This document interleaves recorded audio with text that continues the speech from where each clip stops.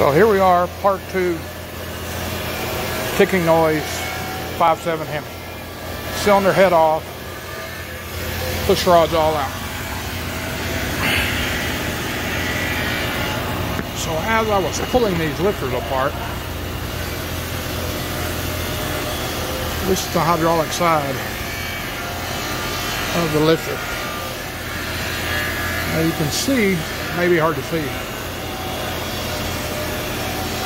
there is a little check valve in there to hold pressure underneath this hydraulic end. Now when I talk, took the bad one apart, the cage, I guess you could call it, with the spring and the check ball was not attached to this piece.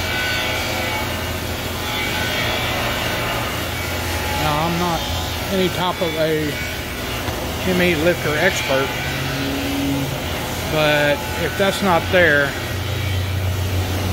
it seems as though oil pressure is not being held underneath the lifter. So there we go. Bad lifter, ticking noise, 5.7, 2013 Hemi.